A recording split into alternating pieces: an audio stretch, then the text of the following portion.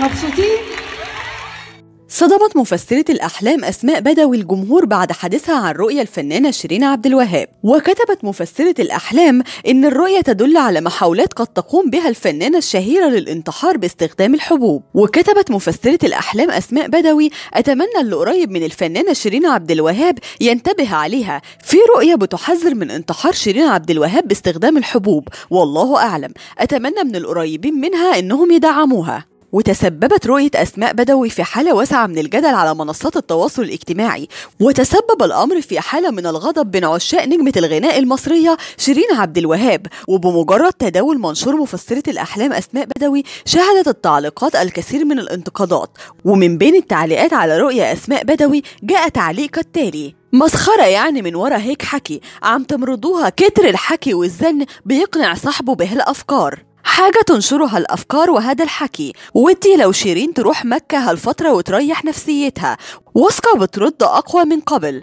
الله يكون في عونها ويخليها لبناتها. وهذه تسكت وتخلي تفسيرتها لنفسها. بهالكلام تفتح لها مجال بالتفكير بهالشي وهي نفسيتها تعبانة وغير متزنة. وجاء تعليق آخر. ما ناقص إلا المفسرة تقول خبر على أساس رب العالمين. أستغفر الله من هالأشكال اللي يصدقونها. ويأتي تفسير أسماء بدوي للرؤية الصادمة بعد بكاء شيرين عبد الوهاب على المسرح في آخر حفلتها حيث ظهرت النجمة الشهيرة بتأثر شديد في أثناء غنائها لأغنيتها الشهيرة منك لله وبعد الحفل فاجأت أسماء بدوي الجمهور بتفسيرها للرؤية الصادمة. ففي حفلها الأخير لم تتمالك شيرين عبد الوهاب نفسها وانهارت باكية في أثناء تأدية أغنيتها ما تحاسبنيش لتنهار في نهايتها وهي تؤدي آخر كلمات الأغنية منك لله ووجهت شيرين عبد الوهاب رسالة إلى الجمهور أثارت فيها تعاطف عدد كبير من رواد مواقع التواصل الاجتماعي. وذلك بعد أن كشفت للجمهور عدم رغبتها في غناء بعض الأغاني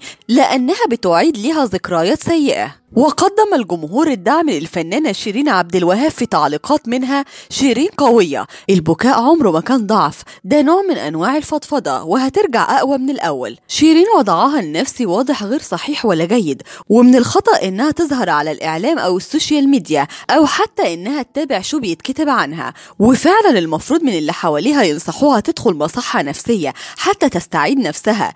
كما ربط البعض بين تصريحات مفسرة الأحلام الشهيرة وبين المكالمة المسربة للفنانة شيرين مع الإعلامية نضال الأحمدية وكتبوا في بعض التعليقات هالمفسرة سمعت شيرين تقول لنضال إنها وصلت إنها تفكر في الانتحار وأخدت الكلام وفسرته على مزاجها؟ الله يحميها ويجبر قلبها.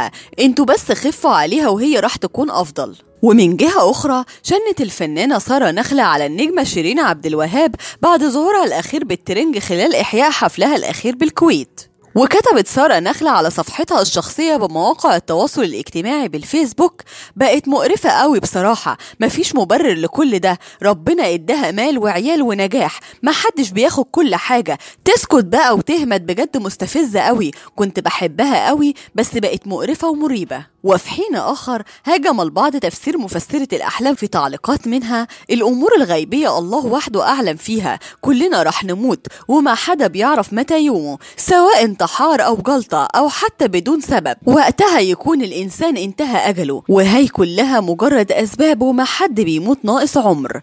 لكل أجل كتاب فإذا جاء أجلهم لا يستأخرون ساعة ولا يستقدمون. صدق الله العظيم.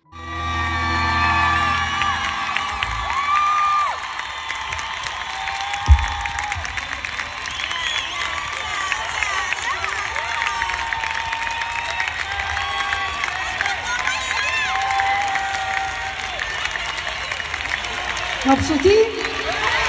ومن هنا يكون خلص الخبر بس استنونا في أخبار جديدة